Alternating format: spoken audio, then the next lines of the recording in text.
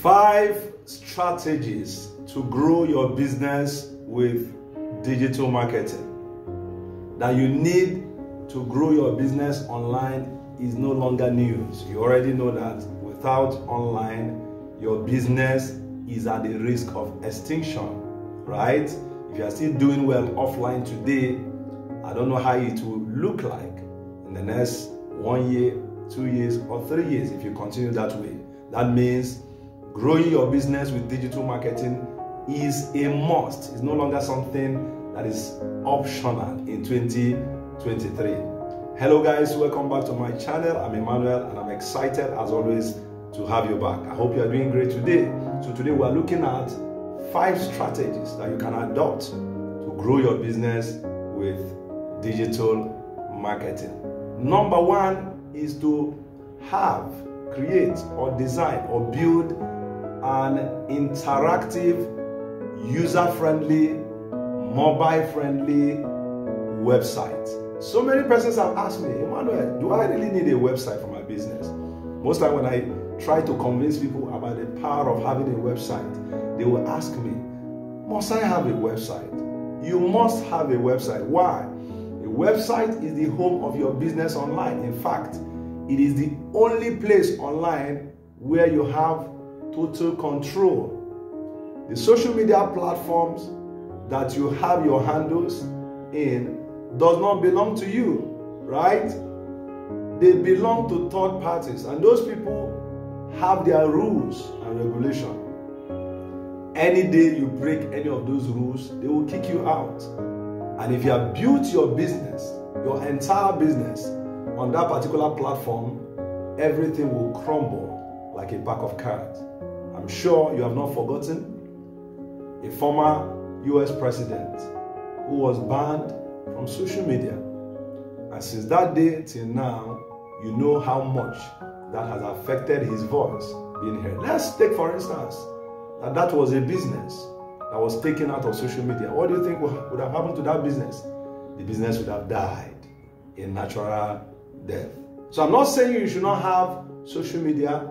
You should, but your website is your home. It is a place where everything is integrated, right? Where you have complete control, where you decide what happened, decide what content and how you how you want the content to be. So make sure you have uh, a website that is interactive, that is user friendly, and of course mobile friendly. That means because more people communicate on mobile, so your website mobile friendly. Okay, so that is number one. Number two is search engine optimization. You have to leverage on search engine optimization. What is it? It's simply to optimize, prepare your content and your website to be able to rank on the first page of search engines such as Google. That means you have content that Google loves to show on the first page of their search engine. So, what you do is that your business is around a particular industry.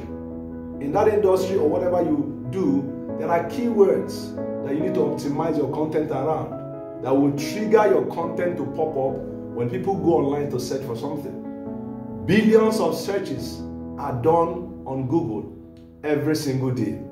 And as people search, the content that have been optimized for search will pop up on the first page.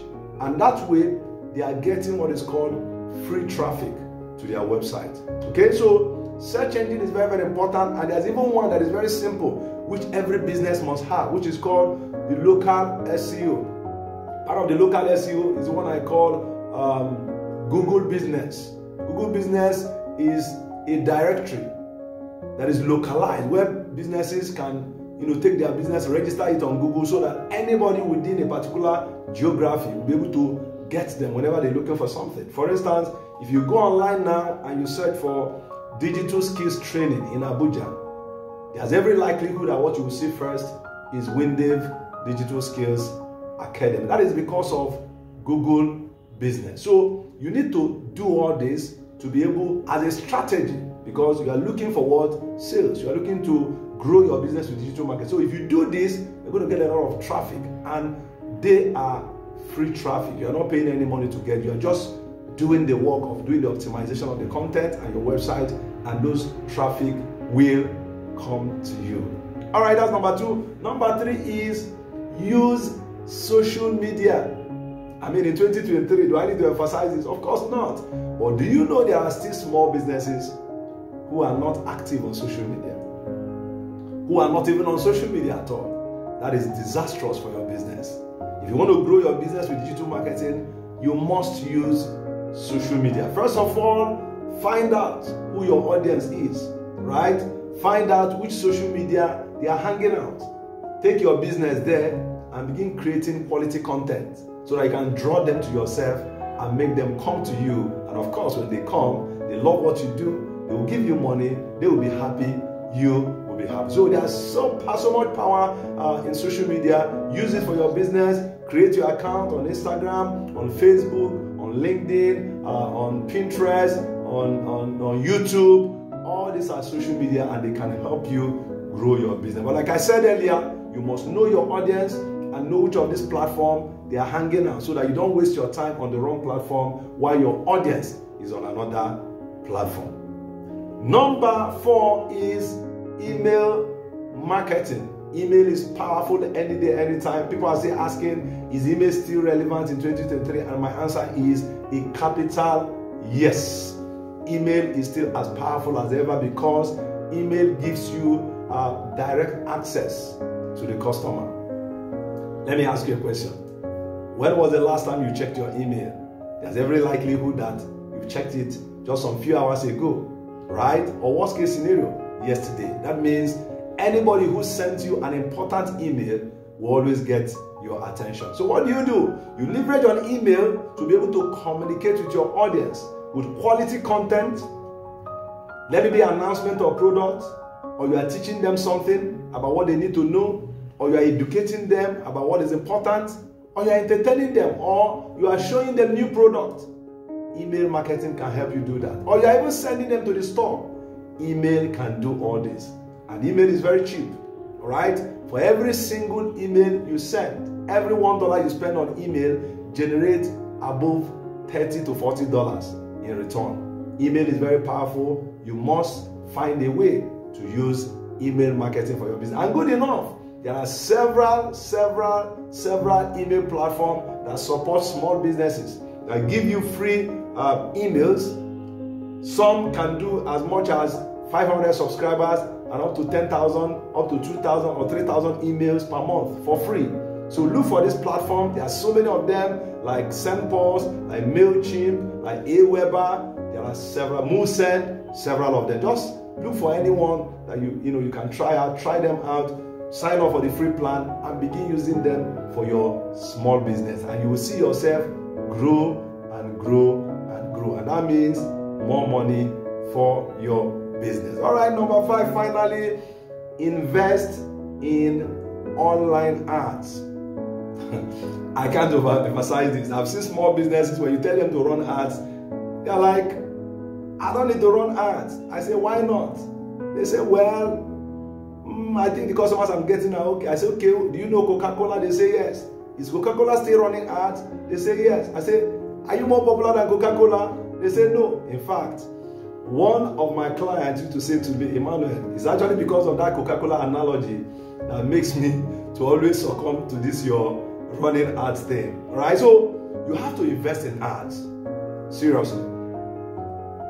You can never have too much customers. I've never seen a business that say, I have too much customers, I don't need more. I've never seen anyone. If you are that business, please, that will be disastrous for you.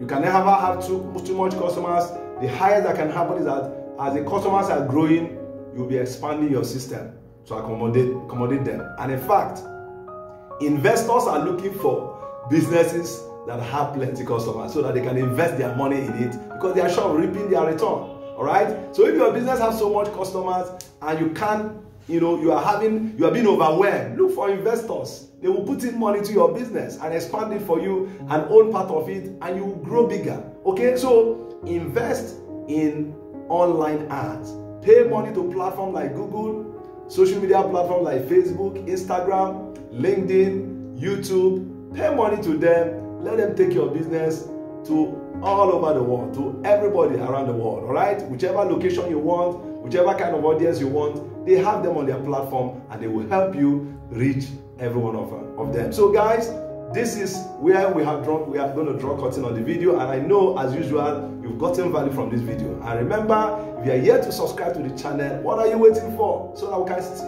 you know keep giving you this quality sweet content every day. Subscribe to the channel help us share the video to your family and friends tell them to like and also share it to other people so that more and more people will have the right knowledge to grow their business online till i come your way again this is Emmanuel signing out and i say i will see you again in the next video.